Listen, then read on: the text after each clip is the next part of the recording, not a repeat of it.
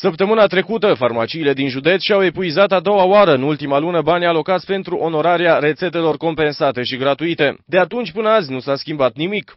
Casa de asigurări n-a primit bani și din informațiile pe care le avem luna asta nu mai primește niciun ban pe segmentul rețete unice și pensionari, că în acest județ uh, o parte din farmacie liberează uh, în ce privește partea de lanțuri farmaciilor pe responsabilitatea lor, nimeni nu, nu îi poate asigura pe ei că acești bani vor primi, așa, și de aici încolo viața merge înainte.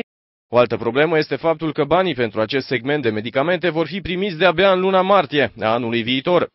Rețetele pe unice și pe segmentul unice și pensionari eliberate din iulie, în mod normal, în conformitate cu normele, ar trebui plătite în ianuarie, dar din, iarăși din uh, informațiile pe care le avem, acești bani, bani le vor primi, vom primi în martie, deci după 9 luni de zile.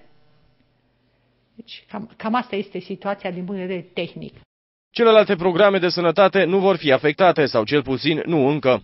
În legătură cu Uh, programele naționale. Nu, nu se pune în discuție programul național de diabet, nu se pune în discuție programul național de, uh, de oncologie și cele aprobate de Casa Națională. Nu se pune în discuție. Ele se liberează mai departe, sunt fonduri, sunt structurate deja, ajung fondurile până la sfârșitul anului.